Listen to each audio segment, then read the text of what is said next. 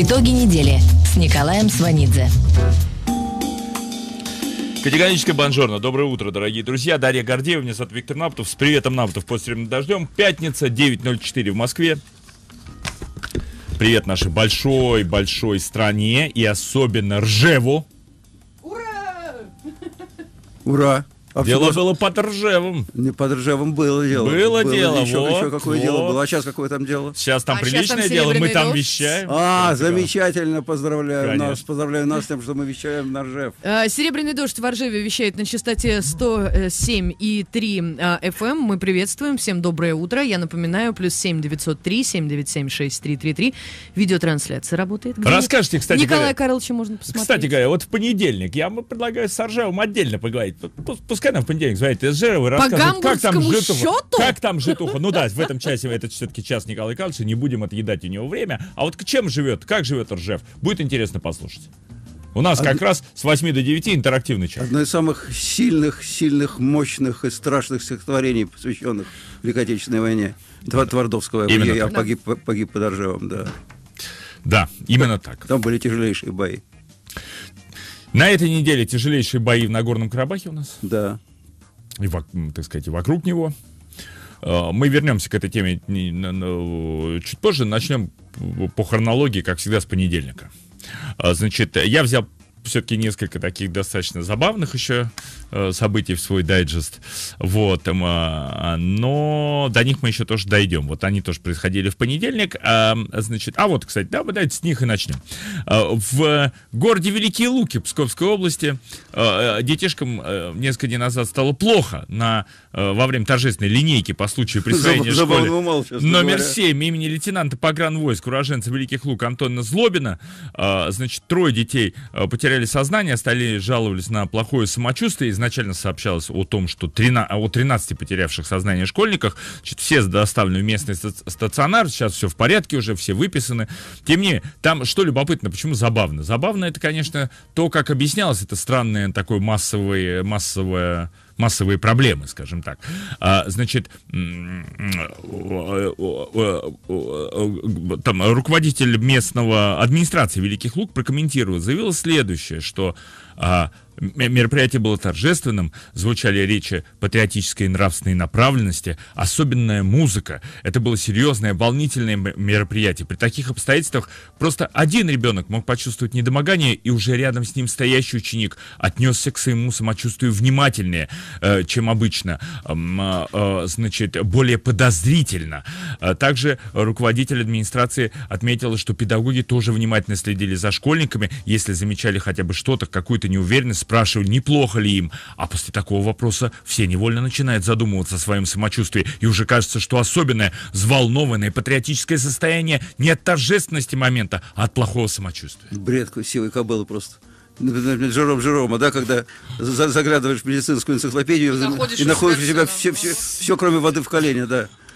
То есть детишки, как костяшки дом- домино вслед за одним попадали, значит, э, чувствуют себя плохо. От торжественности. От торжественности момента, общей, общей, общей, так сказать, патриотичности э, этого мгновения. Ну, у нас начальство любого ур- уровня умеет, умеет сформулировать так, чтобы отвести от себя удар. Это правда, да. Кстати, что было со школьниками, до сих пор непонятно. Ну, а, сказать, все выздоровели. и Слава богу, и Господи. слава ты богу. Может- а может быть и действительно правда, слишком торжественный момент. Не, не- не по детской психике. Не сказать. могут же, не все могут, не, про- не могут правильно прочувствовать. Не могут вот. пережить. Как, как, у нас, как у нас говорят, что не нужно говорить детям в школе что-то плохое про нашу историю, потому что это э, на них производит не- негативное впечатление, вот и как так. Пор- пор- портит здоровье. Только хорошее, только хорошее. Только хорошее, Да-да-да-да. только хорошее, да. А если было что-то плохое, об этом можно не рассказать. И или, взрослые- или переделать. Лучше и взрослым не говорить, чтобы не, чтобы не расстраивались, на самом деле, конечно. Да, Владимир. Да- Как пишет наша слушательница, э, слуш- слушательница э, Татьяна, недальновидно выступила чиновница. Получается, что детей затошнило от переизбытка патриотизма. Естественно, конечно.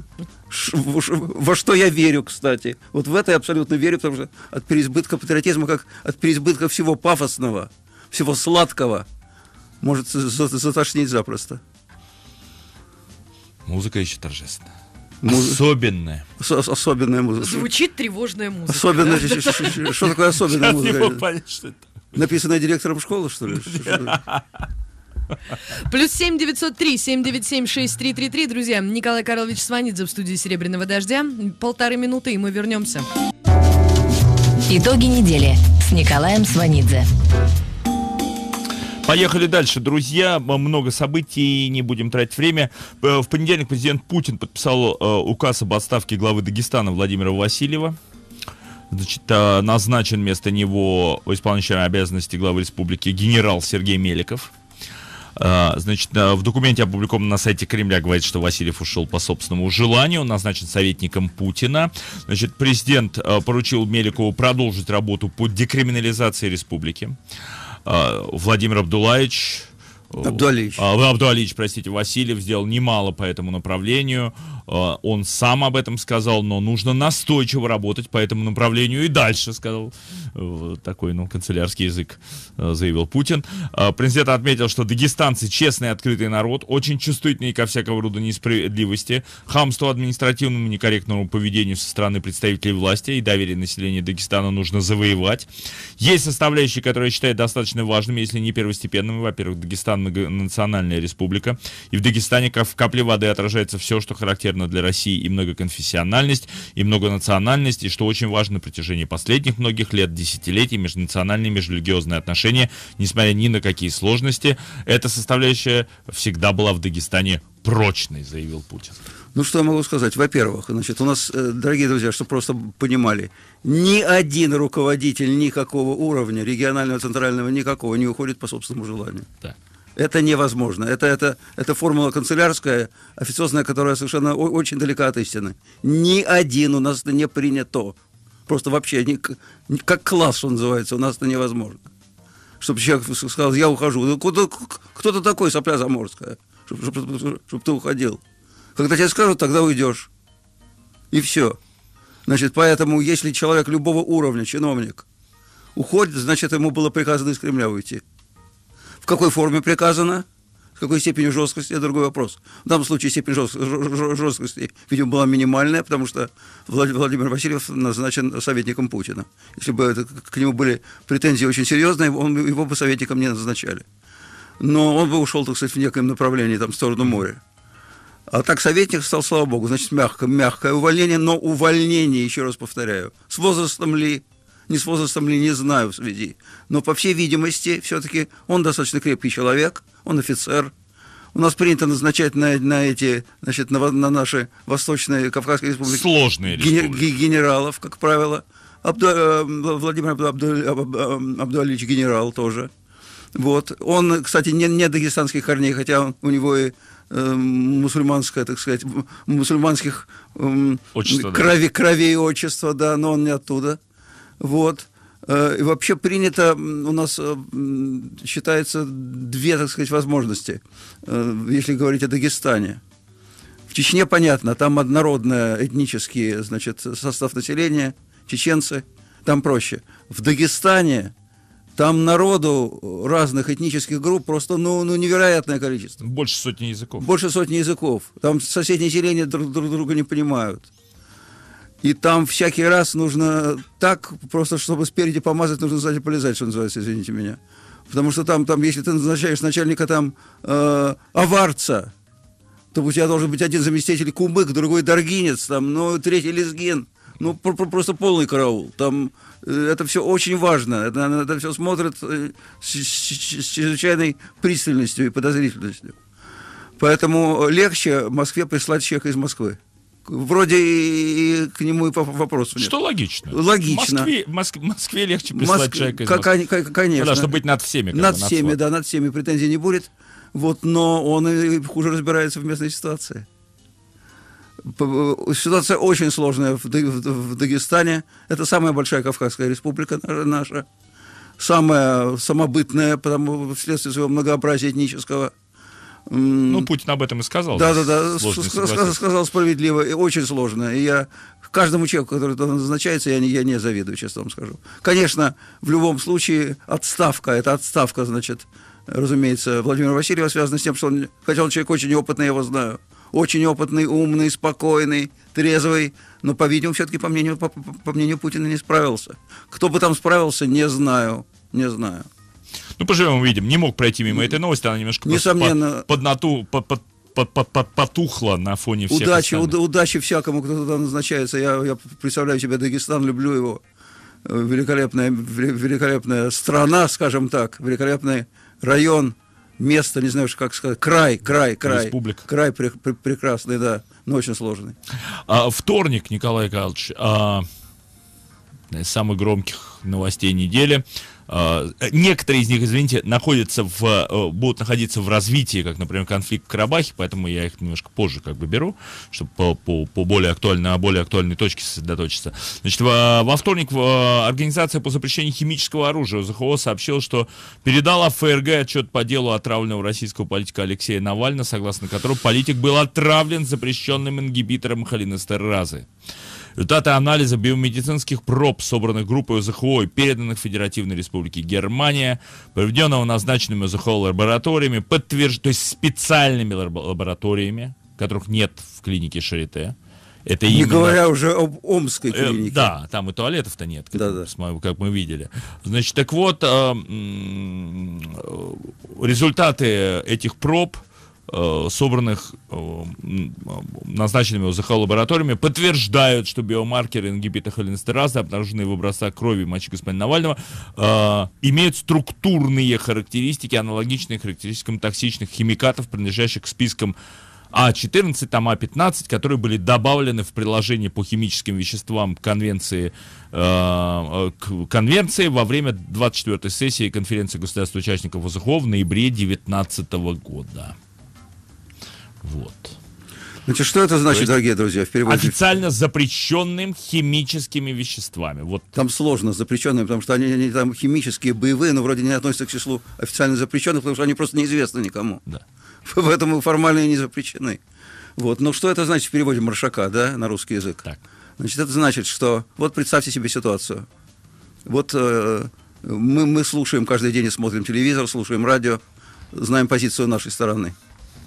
Не доказано. Теперь представьте себе позицию всего остального Ну, у нас ми- разные позиции. Да, Отравили сами немцы. да, всего остального мира за пределами, за пределами нашей территории. Значит, четыре самостоятельных независимых лаборатории. Германская военная, французская военная, шведская военная. Почему военные? Не потому, что там это ястребы сидят, потому что именно военные лаборатории могут определить боевой яд. У, у обычной клиники просто, просто не- не- нет такой аппаратуры. Нет, обычная клиника определяет, что было отравление. Естественно. Вот они, определяют, да. они определяют со- состояние, Состояние. больного. А, а, а- а чем он был отравлен, это мож- может определить только военная лаборатория. Так вот, я еще раз повторяю. Три. Германская, шведская, французская, все разные. Э, Вовсе не, не, не, не, не пляжущие под дудку Госдеп США. Стоит ли им верить? Вот у какие, меня сразу какие там вопрос. французы и шведы, там... И, и, и, наконец, ОСХО, лаборатория ОСХО. Это организация по запрещению химического оружия, создававшаяся при нашем участии, э, э, оплачиваемая в том числе из нашего, из нашего бюджетного кармана. То есть нам, мы можем, конечно, сказать- что они все куплены. Все куплены, все. Шведы куплены, французы куплены, немцы куплены, ОСХО куплены, все, все кроме нас куплены. Только мы никем не куплены. И вот все они утверждают в один голос, что это был новичок. Это был новичок, все они говорят. Теперь представьте себе ситуацию во всем мире, когда всем говорят, что это, вот эти четыре, все лаборатории, кому на экспертизу не принесли, каждой серьезной независимой лаборатории, а- она говорит новичок. А русские говорят нет. А русские говорят нет, мы не верим. Мы не верим и уголовное дело затевать не будем, открывать не будем. Вот как к этому относиться? Вот э, объективно, вот мы, мы, мы с вами вроде бы как представим себе, что, что мы не американцы, и там, но и не наши, а мы там, не знаю, корейцы, там, я не знаю кто, там, китайцы даже, да, шведы, там, не знаю, финны, кто угодно, бельгийцы. Вот мы, мы не, некие нейтральные наблюдатели. И вот мы видим такую информацию. На чью сторону нам становиться? Человек был от- очевидно отравлен, других версий нет, в том числе и мы не выдвигаем других версий. Что было с Навальным? Ну, что с ним было? А, Ну, Ударили кирпичом по голове? а, Нет. Неудачная... Я, как зритель программы Что? 60 минут, Съел отравленный помидор? Съел отравленный помидор? на- спешу на- на- вам на- на- сообщить последние версии. Да. Вы вот не смотрите? Или редко Я, смотрите? я, я а вот, зря. я- я вот смотрю, кстати. А между з- прочим. на- ну, не так часто. Я экс-офи- я экс- экс-офицер, что называется, по должности. Я смотрю Хорошо. телевизор. Значит, это а, на голо- выпил на голодный желудок. Чего? Упал, в, попал в кому. Чего? Проснулся гипс. Очнулся гипс. Чего выпил он на голодный желудок? Водички, судя по Чего-то всему, да. выпил. Чего-то выпил. Чего-то Там разные выпил. версии. Я Чего? Ну, мне, мне- мне- мне приходилось, к сожалению, особенно по молодости, выпивать, в том числе и на голодный желудок. А, ну, по последней версии, кому- я так кому понимаю, сразу не впадал, да. можно предположить, что он а, наслушался торжественной музыки и патриотических Видимо, ви- речей. видимо, да. Ему стало плохо. Нет, но, понимаете, это не смешно. Человек чуть- чуть-чуть э, Богу душу не отдал, да? Вот, но вдруг здоровый, 40-летний, тренированный, в общем, э, не профессиональный спортсмен, а, но, но просто тренированный, здоровый человек, мужчина в расцвете сил, вдруг, чуть- вдруг чуть на борту самолета не отдал Богу душу, который за 10 минут до этого чувствовал себя нормально. Да. Но все, все констатируют отравление, и все констатируют, что новичок. А мы говорим, нет, мы не верим. Ну, откройте, ну, ну японский бог, откройте уголовное дело, докажите, что, что, что он не отравлен. Докажите, что это был там гнилой помидор, или что он перепил там на- накануне самогонки в Так Томске. его нет уже, он уже уехал, Алексей. Так при чем Уже еще он уехал? Что он Ну, уехал? Мы бы доказали, что он перепил самогонки. А как мы без сейчас проблем. доказали? Мы же бра- брали пробы, когда он лежал в, в- в Омской больнице. Давайте прогоним еще раз это все. Там тухлые помидоры. Нет, ну, да- да- да- давайте Мы покажем. не что- знаем, какие там пробы у Так, него брали. так покажем, что помидоры, а для этого нужно открыть уголовное дело. Открыть уголовное дело и доказать, что, что, А все, что шведы, французы, немцы и ОСХО все, значит, э, на, на, на, на оплате у Госдеп США. Ну, Никак. ну давайте. Но если он отравился тухлыми помидорами или там, и, э, э, мы это уже доказали еще в Омске, зачем нам открывать уголовное Как мы- дело? как мы это доказали Но если каждого отравившегося тухлыми помидорами будем уголовное дело открывать. То вот а и в- что там ему подсыпали, извините меня, в этих лабораториях, мы не вот знаем. это логика. Если каждого, если каждого... Вот идите опровергните мою. Если, если, Вот, пожалуйста. если каждого лидера оппозиции, отравленного помидорами, значит, об- э, открывать уголовное дело и обвинять в этом все наше родное государство, то мы далеко уедем, да, правильно. Вот, вот примерно так, понимаете, примерно так. И в этом смысле наша позиция, к сожалению, я бы очень хотел, чтобы она была, чтобы, мы- чтобы мы могли, что называется, гордиться нашей позицией. Михаил из Орла пишет тебе, еще тебе понравится эта версия «Нету тела, нету дела». Дело- Именно Нет, это. да, да, да, да. Нет, нет, нет, нет глазок, нет мороженого, да. Значит, вот я попрошу Гордеева сейчас еще раз, мы вчера или позавчера это слушали, можно Никита Сергеевича Михалкова? Можно это коротенько? Да 30 я знаю эту штучку. Да, да, да, сейчас он, да, вот, да, я, да. чтобы все остальные просто послушали. Да, да, да. Я пока спрошу, кстати говоря, вот о чем еще.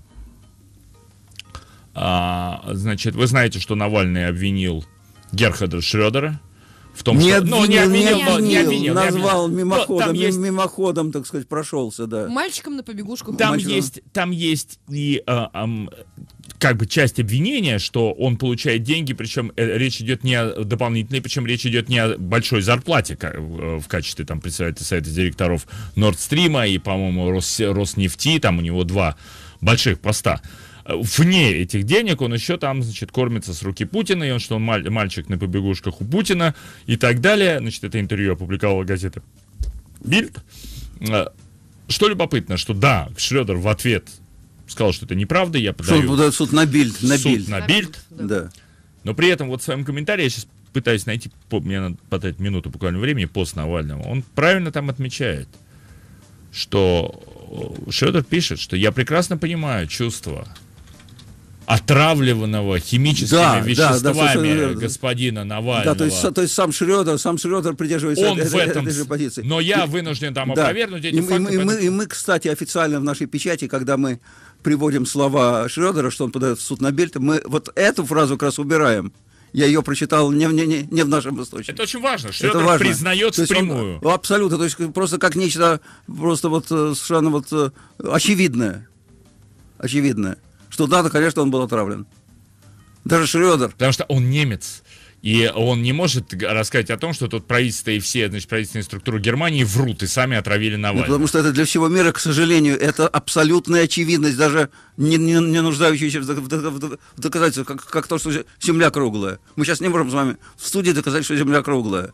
Но она круглая, мы это знаем, мы из этого исходим.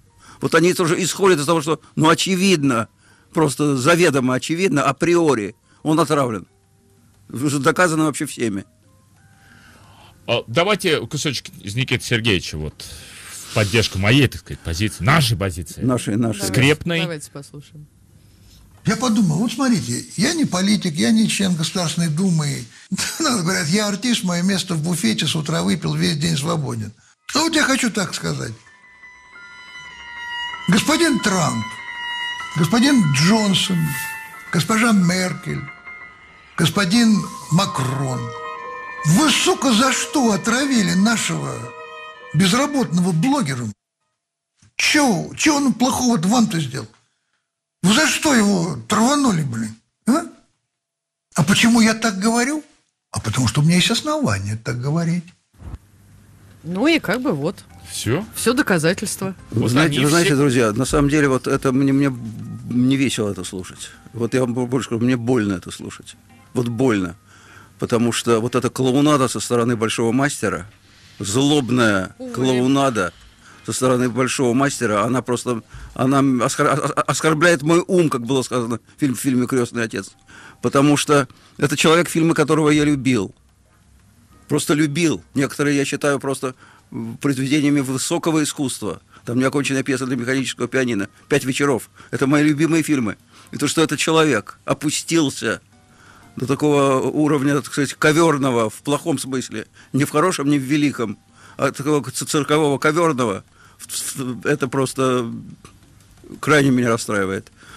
Потому что он, э, это его вот, э, как это называется, его, его те- телепрограмма м, Бесогон. Бесогон. Вот ему э, просто такое впечатление, что мелкие, очень мелкие какие-то мелочные, злобные и бездарные бесы поселились в нем самом. Он их, вы- ему из самого, из самого себя бы их изгнать. Вот это поразительно все-таки, как человек с во- с возрастом должна приходить мудрость, а в данном случае пришло не, не- не- нечто обратное. Это, это очень расстраивает меня в отношении Никиты Сергеевича Михалкова. Крайне. Ну, его семья, и он, и папа были всегда близки. Нет, но одно с дело частью близки, ну, бли- бли- номенклатуры. близки, но то но Он нужно... хорошо ну, ну, оплачивается, ну, его он- фильмы он- великолепно он- Он оплачиваются. потрясающе оплачивается, но нужно сохранять лицо. Ну, нужно сохранять, сохранять лицо. Не, не- не нужно превращать лицо в какую-то страшную, страшную, действительно клоунскую маску, как он это делает. Ну, Господь с ним. Плюс семь девятьсот три, семь девять семь шесть три три три. Николай Карлович Сванидзе в студии «Серебряного дождя» до конца этого часа. Друзья, не забывайте про видеотрансляцию на нашем канале в YouTube. Оставайтесь под «Серебряным дождем». Мы продолжим через несколько минут.